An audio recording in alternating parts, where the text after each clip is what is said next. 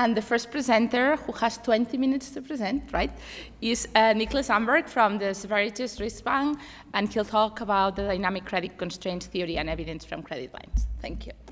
Okay, thank you very much. Uh, so this paper is joint work with uh, Tor and Anna Rogantini from the Riksbank and Vincenzo Quadrini from the University of Southern California. And the starting point for this paper is a set of stylized facts about firms' access to and use of credit lines that we document using basically the Swedish AnaCredit, so a, a credit register that comprises nearly every corporate loan extended by Swedish banks uh, since 2019. And I guess many of you already know what a credit line is, but for those of you who don't, let me explain. So, a credit line is a type of bank loan in which a bank sets a limit for the firm, and the firm can then borrow as much as it wants to as long as it stays under the limit. So, it can increase and decrease borrowing over time as it sees fit, but it always has to remain below the limit. And the firm pays a fixed fee for the maintenance of, of this facility as a whole, but interest only on the amount that it is actually drawing at any given point in time. And I can also mention that, that credit lines are the most common type of corporate loan extended by banks. And outside of the real estate sector, they also account for the majority of the aggregate volume of bank lending to firms. So that's what credit lines are. Uh, and, and on to our stylized facts. Um, so the first stylized fact relates to what I just said, and that is that credit lines are widespread and sizable. So if you look at the left figure here, what we do here is to take all non-financial firms in the Swedish economy, we sort them according to into 11 size bins according to their net assets. So we have the smallest firms on the left and the largest firms on the right. And what the figure then shows is the share of firms, firms in each size bin that has at least one credit line from a bank. And what we see then is that about half of all Swedish non-financial firms have a credit line, and this is true throughout the size distribution. So credit lines are very common. So they're also sizable. Uh, the right figure here shows the average ratio of committed amount to assets in each of the size bins. So the committed amount, that's the limit on a credit line, so the amount of borrowing capacity that the firm is granted. And, and this is the ratio of that to, to assets. And this is on average about 15% in the sample as a whole, um, which, which, is to say that you know, credit lines provide firms with an economically meaningful amount of borrowing capacity. If you look over the size distribution, you see that it is, if anything, slightly decreasing, which is to say that relative to the size of their assets, smaller firms, if anything, have slightly larger credit lines than, than bigger firms. The second fact is that credit lines are not heavily used, and especially not by SMEs. So the left figure here shows the average utilization rate in each of the size bins, and the utilization rate is defined as the drawn amount divided by the committed amount, so the share of the credit line that a firm is actually using at a given point in time. This is about 25% in the sample as a whole, uh, and it's strongly increasing over the size distribution, so going from about 20% in the bottom to just under 40% in the top. So large firms draw about twice as much on their credit lines as do small firms. Uh, kind of the, the, the, flip side of the fact that credit lines are sizable but not heavily used is that firms have access to substantial amounts of undrawn borrowing capacity via credit lines. And this we can see in the right figure here, which shows the average ratio of undrawn amount to assets in each size bin. Uh, and this is about 10% on average. We can also relate, relate the size of the undrawn amount to the firm's labor costs. If we do that, we find that the undrawn amount on average equals more than three times a firm's monthly wage bill. And, and this is also uh, decreasing over the size distribution, going from about 13% in the bottom to, to about 5% in the top. So, you know, the, the average firm that has a credit line could substantially expand the size of its operation simply by drawing on credit that it has already been granted but, it, but is not currently using. Third fact is that credit lines are not prohibitively expensive. So the left figure here shows the average interest rate on the drawn amount on credit lines during our sample period. Uh, it's about 3.5% on average, and it's declining over the size distribution, going from 4.5% in the bottom to just over 2% in the top. So what this shows is that credit lines are, are fairly affordable, even for the smallest firms that pay the highest rates. And, and, of course, you know, what do we mean when we say that it's low? Well, one, one comparison is to, to, to uh, well, one thing you can do is to compare it to the firm's return on equity. And in the right panel here, I show the median return on equity in each of the size bins. And what we see is that you know, the interest rates are, are way below the return on equity in all of the, the size bins. So credit lines are affordable. And those are the three facts. There, there, are five in the paper, by the way, but I've compressed them into three here for the sake of presentation. So if we keep all of this, this in mind, uh, or first, well, just to sum up what we learned. Uh, so basically two things. The first is that firms throughout the size distribution have access to fairly large and reasonably priced unused borrowing capacity via credit lines. The second is that SMEs hold more unused credit line borrowing capacity than large firms when measured relative to the size of their assets. So now, if we take a step back and think about what this means for credit constraints. As all of you know, of course, there is a huge literature in economics and finance that holds that credit constraints are an important and widespread impediment to firms' ability to develop and grow, and that this is particularly true for certain groups of firms, such as small firms and young firms. And, and what we mean when we say that a firm is credit constrained, well, if you take theoretical models featuring credit constraints, you can broadly speaking divide them into two classes. So on the one hand, you have models in which a firm faces a, a well-defined limit to how much it can borrow. And you know, if that limit is binding, then the firm is constrained, otherwise not. And the degree of constraint is captured by the Lagrange multiplier on the firm's borrowing constraint, which of course is zero if the limit is not binding, and otherwise it's positive. And the more positive it is, the more constrained is the firm. In the other class of models, you know, firms don't face a strict limit to how much they can borrow, but um, the cost of borrowing is increasing in the amount of, of, debt the firm takes on, for example, because of the higher default risk that, that more debt entails. And in these models, the, the, the degree of credit constraint facing a firm is determined by its marginal cost of borrowing. But what I showed you just now with these facts is that, you know, at least among firms that have a credit line, and, and they are numerous, as we saw, uh, for these firms, you know, they're generally far from their borrowing limits, which implies that the Lagrange multiplier on their borrowing constraints is zero. And they do not face particularly high marginal costs of borrowing. And that, of course, then begs the question, is this common view consistent with the basic facts? You know, are credit constraints actually widespread? Is it, do we have reasons for thinking that small firms are, in general, more constrained than large firms? And our answer to this question is going to be, uh, to all of these questions, is going to be yes. So we think that the, the common view is correct. We think that credit constraints are widespread. We think that there are good reasons for thinking that small firms usually are more credit constrained than large firms. But what we argue is that to reach that conclusion, you have to adopt a concept of credit constraints that differs a little bit from the ones that are typically applied in the literature. And we're going to call this concept dynamic credit constraints and argue that firms are very often dynamically constrained, but much less often constrained in a, in a simple static sense. So, if you bear with me for a minute, I'll explain exactly what we mean by this. So in the second part of the paper, we develop this idea of dynamic credit constraints using a very, very simple but, but fully dynamic model of a firm's borrowing decision. Um, and in this model, we have a firm that produces output using labor, and the model has three key ingredients. So the firm faces first collateral constraint, so it can borrow up to a fraction xi of its expected next period cash flow. It faces uncertainty about both its next period productivity, said, and its next period access to external finance, as captured by this parameter xi. And thirdly, the firm faces costly financial distress, which is to say that it must raise costly emergency funds if the debt that it chooses today, tomorrow, turns out to be too high. And I'll explain in a second what I mean by too high. And what these features together generate is an intertemporal trade off for the firm, in which the firm trades off the benefits of higher borrowing today against the risk of becoming illiquid tomorrow, which is costly. And as a consequence of this, a firm may choose to stay below its borrowing limit for precautionary reasons. And before I move on here, I mean, I just want to say that this is a super simple model all the ingredients in it already exist in more you know, elaborate models in the literature, and you know, you'll recognize that this is very similar to, for example, buffer stock models of, of consumption on the household side. So, so in that sense, there's, there's really nothing new.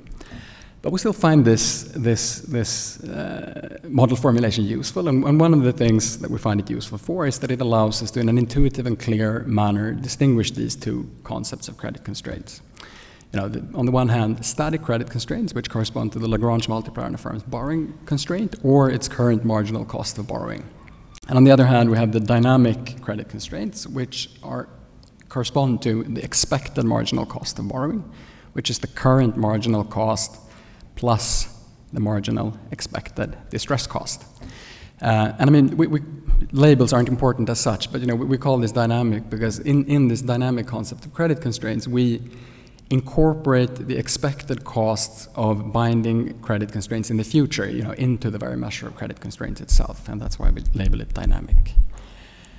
And just one of the key properties then of this model is that low credit line utilization among firms is a sign not that the firm faces slack credit conditions, but on the contrary, that it faces particularly tight credit constraints. Because low credit line utilization results when the firm faces a high expected marginal cost of borrowing, which is the measure of, of credit constraints. So that's the overview. Uh, now a slight bit more detail on some of the some parts of the model. So the firm's production technology is as follows. So output is equal is the product of, of an idiosyncratic productivity shock Z and employment N. Uh, hiring is subject to an, a strictly increasing and convex adjustment cost, which ensures, ensures that the optimal size of the firm is determined at, at every point in time. And the center part of, of, of, the model then is the, is the firm's borrowing decision. And the key elements in this borrowing decision uh, are as follows. So in each period, firm chooses, the firm chooses its next period debt subject to this collateral constraint. So the debt cannot exceed a fraction psi of its next period cash flow. But when the firm makes its decision, psi and z are not yet realized. So the collateral constraint ne needs to hold based on the expectation of these variables. So the firm makes its choice, and then in the next period, uh, psi and z are realized, uh, and now the collateral constraint needs to hold based on the realized values of these variables. Uh, and and what, so, so the, what this means is that the firm ends up insufficiently collateralized if the debt exceeds the realized fraction xi of the realized cash flow. If the debt becomes insufficiently collateralized, uh, the firm is forced to raise emergency funds, and the cost of, of, of, doing so is given by this function phi. So it has to sort of cover for the excess debt, and the cost of doing so is given by the parameters kappa and, and eta. The expected cost of borrowing for a firm then is the marginal interest cost plus the marginal expected future distress cost, which is the expectation of, of the derivative of this function phi. Okay, so if we illustrate this, this borrowing decision that the firm then, then makes, in the left-hand case, just as the baseline case, we exclude the distress costs. We assume that the distress costs do not exist. Then it's very simple. You know, we have the marginal benefit of debt, the blue line, marginal cost of debt, the red line. Both are constant, and as long as debt is cheaper than equity, marginal benefit of debt is equal is higher than the marginal cost, and the firm always borrows up to the limit. But then add the distress cost what happens now is that the marginal cost of debt becomes an increasing function of uh, um, of debt, uh, because now the more debt the firm takes on, the higher is the expected distress cost, and this leads the firm to stay below its borrowing limit. Um, and, and this is kind of this this is what we mean when we say that the firm would be dynamically constrained, because this is a firm that chooses to stay below its borrowing limit not because it faces a high interest rate, but because the expected cost, total expected cost of borrowing is high. So to be able to go to the data and, and, try to assess if firms are indeed dynamically constrained, we need some good testable predictions. And we derived two testable predictions from the model. So the first is that provided that this distress cost is sufficiently high, then we have that an increase in uncertainty about either future access to credit or productivity leads a firm to reduce borrowing and real activity. So this is illustrated in this figure here. So what happens is that when uncertainty goes up, then you know, the expected distress cost for any given level of borrowing increases, which means that you know, the, marginal, the total marginal cost of debt increases, and the firm then, then reduces its borrowing as a consequence. The other testable prediction is that an increase in a firm's credit limit leads it to increase borrowing and real activity, even if it had not exhausted its borrowing capacity prior to the increase. So what we illustrate here in this figure is that you know, when, when the limit is, is increased, shifted out, the marginal cost of debt decreases. Because with a higher uh, debt limit, uh, the expected distress cost for any given level of debt falls. and the firm responds to this by increasing debt. So I've deliberately drawn this figure so that the firm, you know, after the limit increase, it, it increases its debt, but, but that, that increase could have been achieved even before. Was just that the firm chose to, to, to not do it because of the uh, expected costs involved in doing so. So those are our two testable predictions uh, that we take to the data. Uh, so in the, yeah, that's what we do in the final part of the paper. Uh, just a quick word on the data first. Uh, so what we do, what we use in this paper is, is a credit register called Krita. It's the Swedish correspondent of, of ECB's AnaCredit. We have detailed loan level information at monthly frequency covering 95% of the volume of corporate loans extended by Swedish banks. And there's no lower size threshold for a loan to be included in this database. So we have nearly the universe of loans. We complement this with, with you know, standard financial accounts and, and other firm level data that covers the universe of Swedish incorporated firms. And then we select a sample that comprises all non-financial firms that have at least 5 million kronas, so that's about 500,000 euros, in net assets and annual sales, and at least five employees, just to make sure that we only have like economically meaningful enterprises in, in the sample. And then we aggregate up the, the, the, the loan level data to the firm month level uh, month level data throughout the empirical analysis. And since time is short, I'm not going to go into detail on these tests. Uh, I'm just going to explain in words what we do. So the first testable Im implication that we take to the data is that when uncertainty about future credit access goes up, utilization rates on credit lines go down. Our proxy for uncertainty about future credit access is the maturity of a firm's credit lines. And the idea here is that during the lifespan of a firm's credit lines, they have a degree of certainty about both the price and quantity of borrowing available to it. Not, not perfect because of covenants and other things, but, but a degree of certainty. But as soon as a firm's credit lines mature, both the price and the quantity is subject to renegotiation, which creates uncertainty. So all else equal, longer credit line maturities implies that the firm faces less uncertainty about, about future access to credit. So what we do is just to regress credit line utilization rate on credit line maturity while controlling for lots of things. And what we find is that firms with short maturity credit lines, meaning below one year, on average have 40 percentage point lower utilization rates than firms with long maturity credit lines, which is a very substantial difference. The second test, or the second uh, prediction that we take to the data is, is that productivity uncertainty or cash flow uh, uncertainty uh, is also uh, you know higher higher cash flow uncertainty is, is leads to um, lower utilization rates.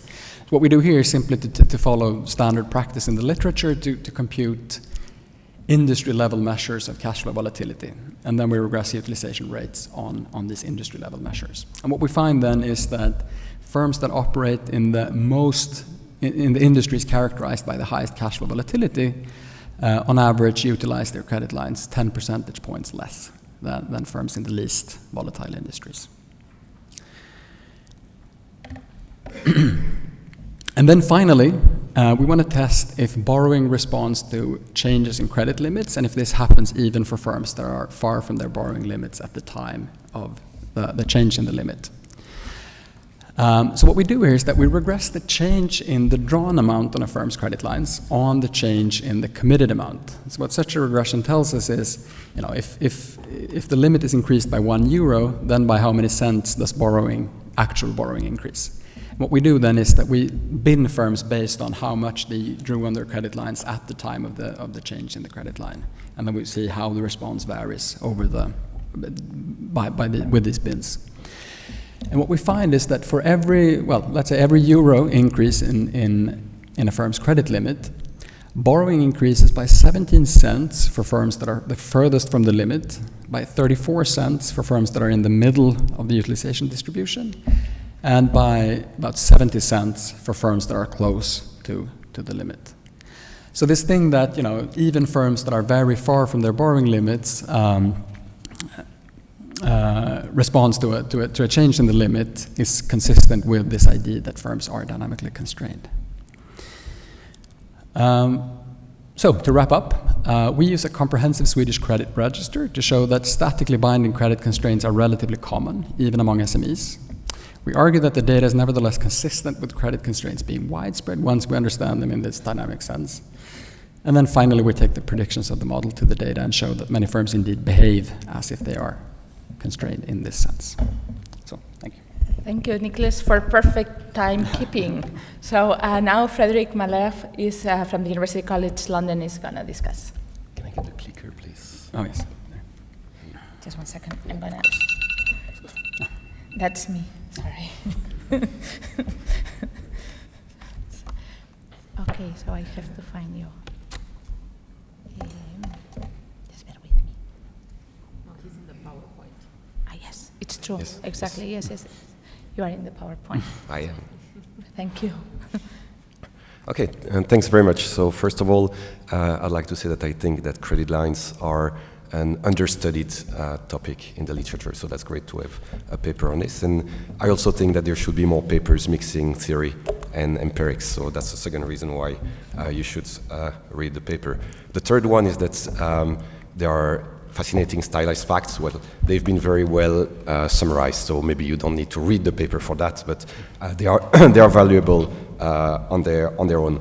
Um, so the second part is about the theory, and that's what I will focus on, uh, which will not be a big surprise for those of you who know me.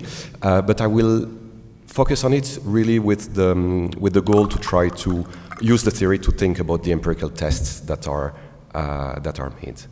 So it's a parsimonious model, but let me try to show you an even more parsimonious uh, model. So I'll start with the budget constraints. Like the, the first um, the first one, imagine you have a firm, you can invest an amount x0, and you do that with E, that's your initial equity, and B0, this is how much you borrow to start with. Uh, next date, well, you get x0 times R1, this is just the, the proceeds from your investment. You repay your short-term debt, B0, with some interest rate R0, and you can borrow a bit more uh, or a bit less. Uh, that is B1 and this is how much you have to invest in the second period, and that is X1.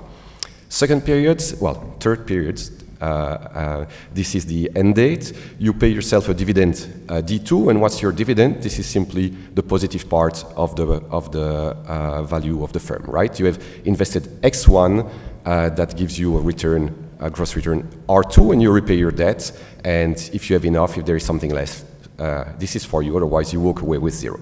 Okay? So that's extremely standard.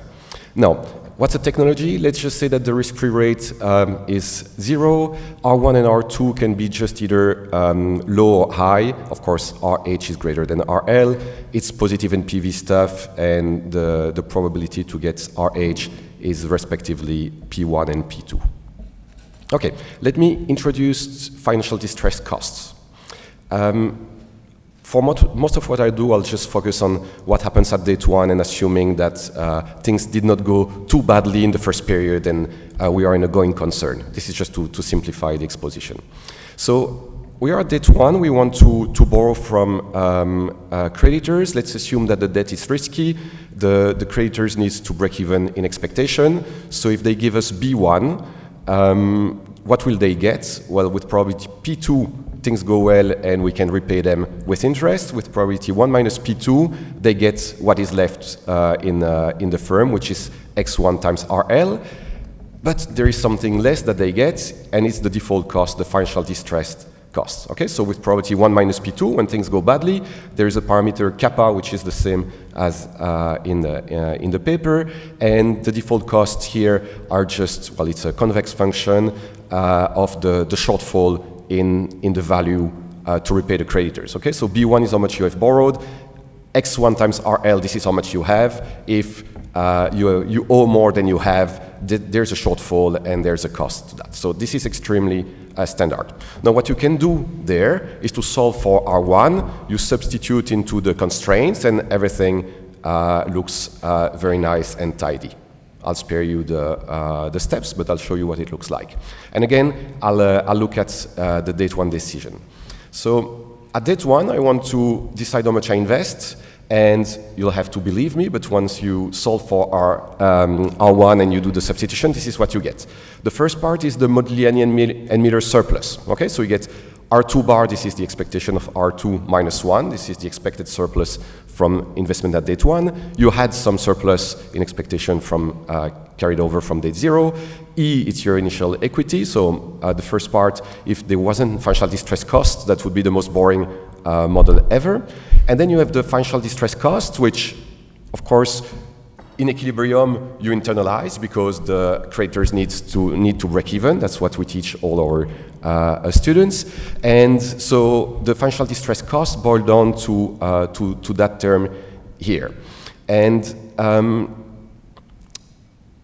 there are two possible cases. The first one that I've shown you is if after, uh, like, um, if the first period investment was low, you get an RL there. If the first period uh, return to investment was high, you just have something, uh, something more there. But let's set that aside for, uh, for now. Just take what happens as given. And in both cases, you see that there is a trade-off, right? When you increase uh, X1, you increase your Modigliani-Miller surplus, but you also uh, increase your uh, expected financial distress cost. So that's uh, a very basic trade-off, and there is no need for dynamics uh, here. So that's the first point that I uh, want to, to make. Second, bringing on the dynamics, um, investing at day zero is also positive NPV. And the key thing in this simple model is that it, it will allow for more equity and expectation at date one.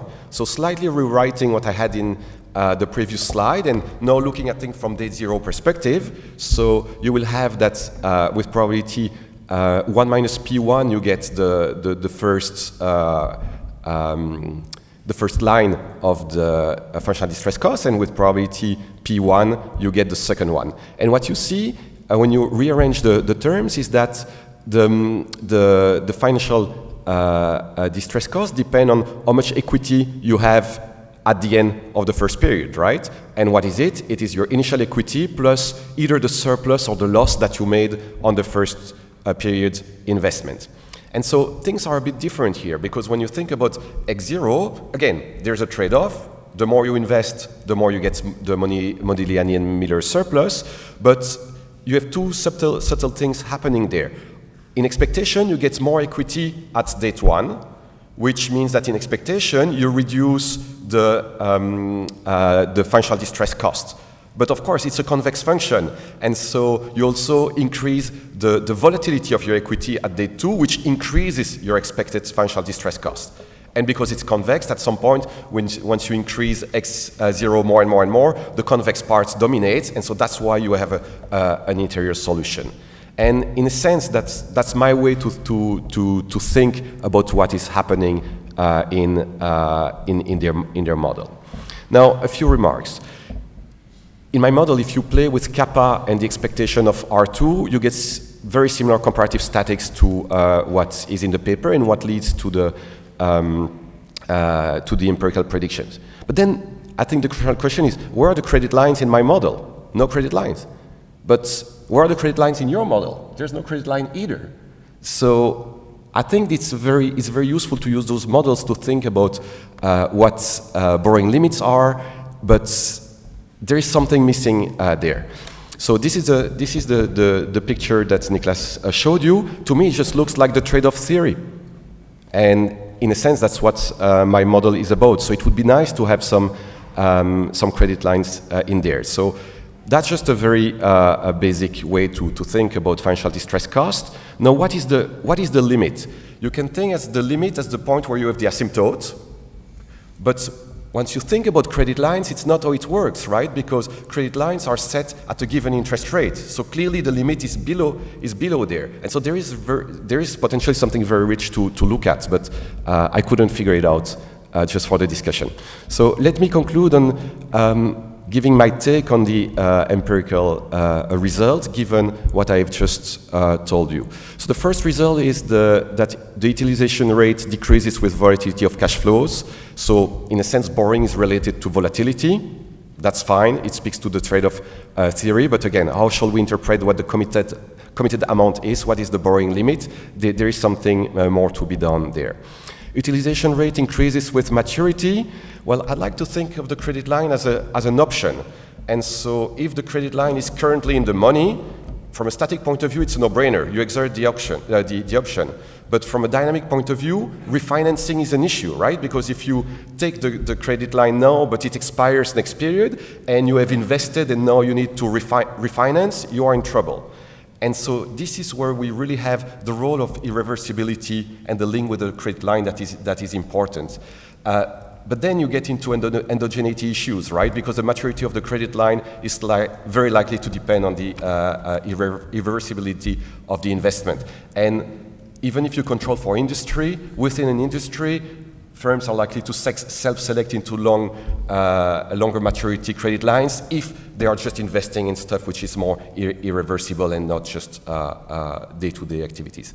And the final, uh, the final bit, the propensity to, uh, to draw uh, in, uh, on increase in borrowing limits is positive and decreasing in distance to the limits. And, and you're right that it's hard to rationalize this based on static conceptions of credit lines, which, uh, which is, uh, of credit constraints, sorry, uh, which makes sense. So the fact that it's positive is in line with the trade-off theory. So you have a model with predictions, but they are not unique, so there's mm. something which is a little bit uh, uh, unsatisfactory there.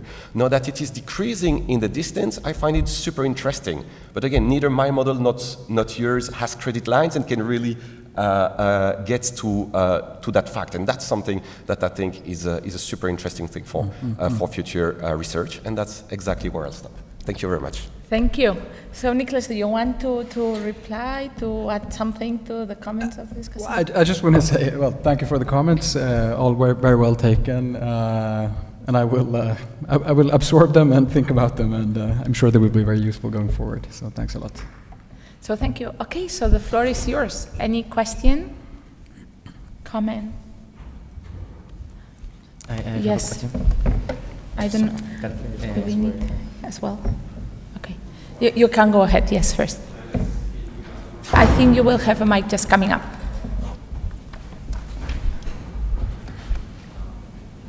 Thank you very much. Uh, very interesting paper. Uh, just have one question about the uh, uh, Uh, empirical part, uh, the business cycle patterns. Uh, I guess uh, uh, these constrained firms utilization rate is low in case something happens in bad times. but when something happens, are there do they actually utilize uh, the credit lines uh, more than unconstrained firms?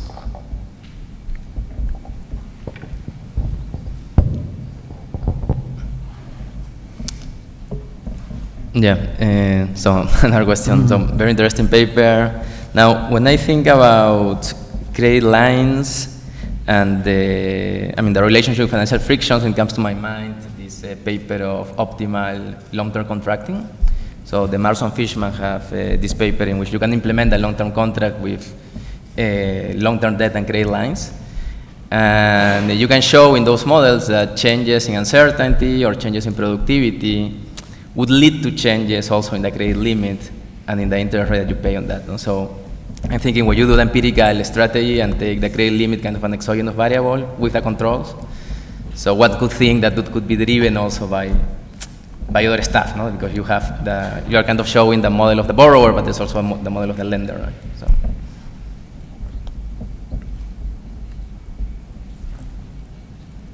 Any more comments, questions? Yes. So very much related to, to Frederick's point, um, it looks to me that, and the, the lender part of it is, should be there also for the outside option when the distress moment comes, because the credit line is about securing a price in a, in a bad time when the potential price of alternative options are really bad. And in good times, the alternative options are there. So, um, so it looks to me that that credit line is not the only type of credit that the firms have. Maybe it would be used to it would be useful for me at least to have in the in the stylized facts the connection between credit lines and other sources of, of credit, even bank credit that you probably have in the data, to see whether there's substitution or complementarities between the two. Right. So now we might let Nicholas answer Hmm? if you want to, to add to some of the comments. Sure. So the first was about business cycle patterns and whether firms actually utilize when, when bad things happen. And, and, and in general, yes, they do. Um, but of course, it also depends on what type of shock it is. So, so something that we saw, for example, during the, the COVID pandemic was that, with the exception of very large firms, uh, that, that small firms actually uh, reduced the utilization of their credit lines. Uh, but, but that may, of course, precisely be because uncertainty was exceptionally high in the pandemic. So it depends a bit on what the, what the type of the shock is. But, but certainly we see that if, they, if they're hit by a severe idiosyncratic uh, shock, then, then they do utilize their credit lines indeed. And then I think so your question was about the endogeneity of the credit limit and how much can we actually learn. And I mean, I, I didn't have time to go into the results now, and, and, and I should say that in, in none of these empirical tests do we have uh, you know, a, a, perfect natural experiment or, or, the ideal instrument. So, so they should be taken as, you know, empirical regularities, let's call them. Um, but what we, what we do is just, so certainly the, the you know, changes in the credit limit can be driven both by the lender and by the borrower.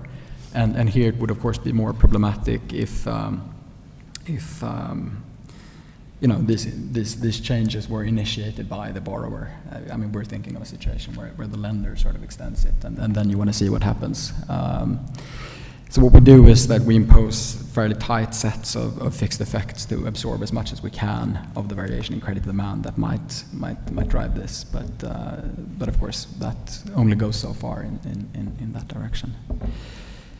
And then we had, sorry, the, uh, Victoria. Uh, Liquidity constraints. Come again? The constraints. Yes, oh, uh, sorry, I'm, I'm uh, would you mind just repeating, Victoria? I, I oh, um, I was wondering about other type of bank credit. The other type, oh yeah, yeah, yeah. yeah. Uh, so we, have started to look a, a bit into this. Um, I would say that in, in general, for the, the, the, typical case for a small firm at least is that they only have credit lines. They very rarely have term loans, for example.